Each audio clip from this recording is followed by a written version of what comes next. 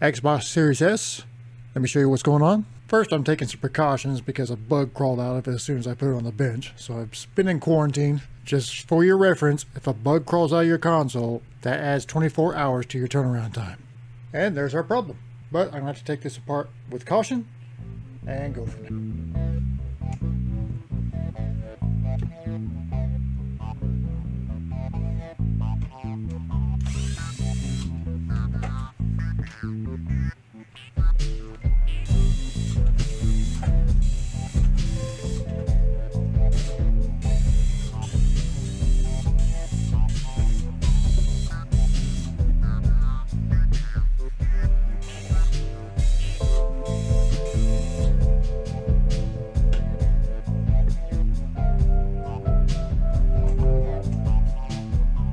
We have the board out of the housing, and we are preparing to remove our port. In order to remove the port, I must turn on my equipment, and while I turn on my equipment, let me throw up my expected temperatures for the job. These temperatures are brought to you by the associate links in the description. If you go to my video description and click on one of these links and buy any of this equipment, a small portion of that purchase will go to supporting the channel. And I greatly appreciate you. It won't cost you an extra dime. For your orientation purposes, the board view is on the screen. While I let this board warm up, I'm going to clean up what looks like oxidation off this board. We'll apply some flux. That will also clean the bit. Flux is a cleaning detergent. Now we're just waiting for the flux to liquefy. Once it does, we'll know our board is warm enough to begin removal procedure. Our flux is liquefied and we're going to begin by applying some low melt to our anchors. My board heater is currently set to 170. I don't have that on the temperatures yet. Okay, I'm going to flip our board, flipping our orientation. We're also going to low melt these pins.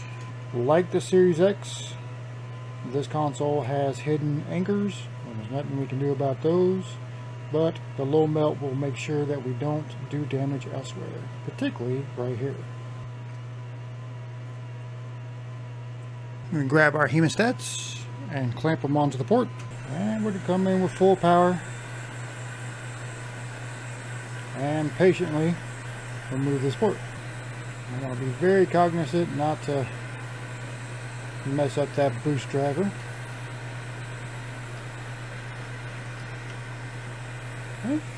Gently remove. Nice clean pull. Let's clean up. We will be greatly assisted by the low melt.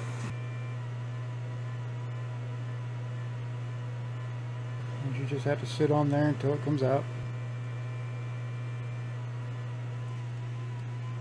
Gently going to go with the pads here. We have to do it because we used a low melt. Low melt does ensure we don't tear pads. Clean gently. We don't want to knock any of these little small parts, so don't scrub hard. Just scrub as much as needed, which is not much, especially on a preheater. Flux everything up, and on our hidden anchors and the pads.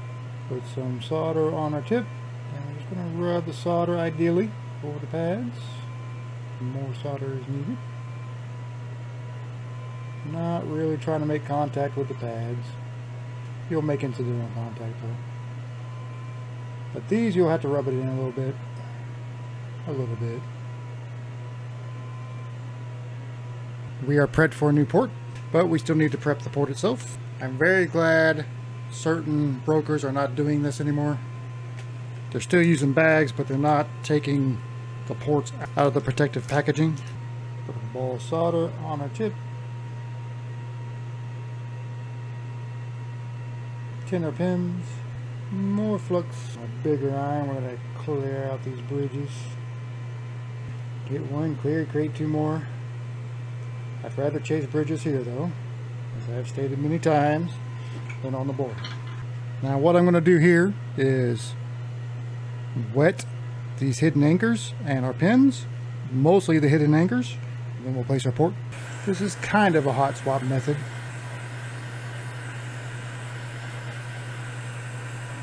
Okay, and now we're going to concentrate on our pins.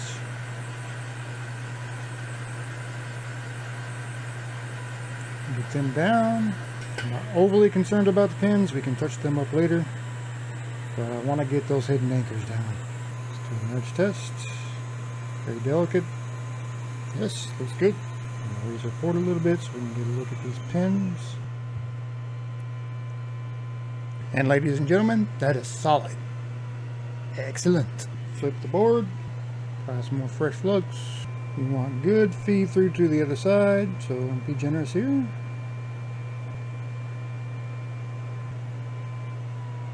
Excellent feed through. It's exactly what we want, and that's exactly what we get from the preheater. I love that thing. We're going to clean up, again, gently. Don't cause other problems by scrubbing too hard. Those little filters are pretty delicate. We're going to let the board cool down a little bit, and we'll clean it out a little further. We need to clean out that port thoroughly and then go from there. I hope you're getting value out of this video. Just a reminder, if you find you're not ready to tackle this, I do offer these services, both locally and mail-in. Just head over to micromage.repair, click free quote, fill out the form, and I'll get back to you personally. If you mention this video, I'll give you 10% off on your repair.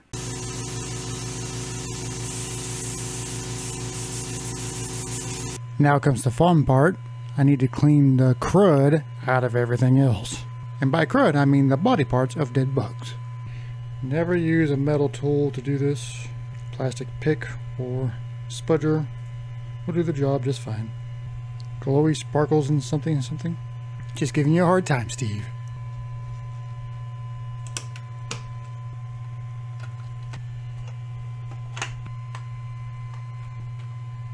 Doing things out of order.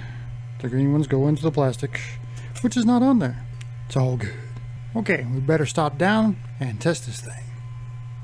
Okay, wish me luck. I did not do a pre-test because it had bugs. Fan spin. And I see an Xbox logo. And as you can see, it's up and running. Yay! Just need to finish our assembly. We're all back together and up and running. If you got value out of this video, I think you'll get value out of this one, and I'll see you there.